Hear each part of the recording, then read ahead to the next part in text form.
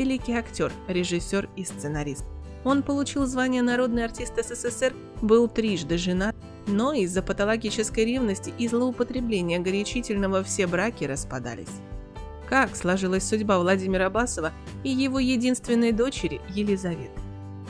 Он родился в Белгородской области в семье красного комиссара и учительницы. Когда маленькому Вове было всего лишь 7 лет, не стало отца. Он воевал вместе с Василием Чапаевым и погиб в Средней Азии.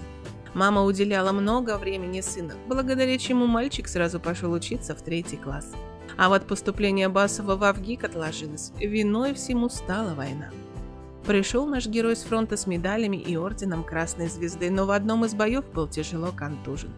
Со своей первой супругой Розой Макогоновой Владимир познакомился еще в институте. Она исполнила одну из ролей в первом фильме Басова «Школа мужества». Вторая супруга Наталья Фатеева родила сына Владимира. Но необоснованная ревность и злоупотребление спиртным разрушили этот брак, когда мальчику не было и двух лет. А вот в третьем браке с актрисой Валентиной Титовой на свет появилось двое детей. Сын Александр стал кинорежиссером, а вот о судьбе единственной дочери Владимира Басова мы и хотим рассказать. Лиза родилась, когда Владимиру было уже 47. Он любил сыновей, но всегда мечтал о дочери и всегда с особой любовью относился к ней. Елизавете было только восемь, когда родители расстались. Владимир сильно ревновал супругу, а из-за алкогольной зависимости переставал себя контролировать.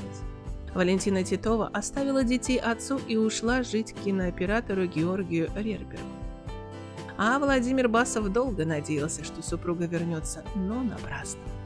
Дочь Лиза стала балериной. В 90-х девушка отправилась на заработки в Грецию по контракту, но ее трехмесячная командировка затянулась на долгие годы.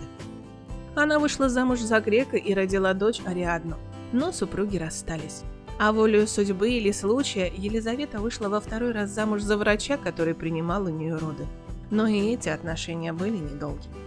Сейчас Елизавете Басовой уже 53. Она с дочерью живет и работает в Париже, а в гости к ним часто прилетает бабушка Валентина Титова, которая в свои 80 лет выглядит просто великолепно. А как вы думаете, почему ни одна из трех жен не стала бороться за мужа и не заставила его лечиться?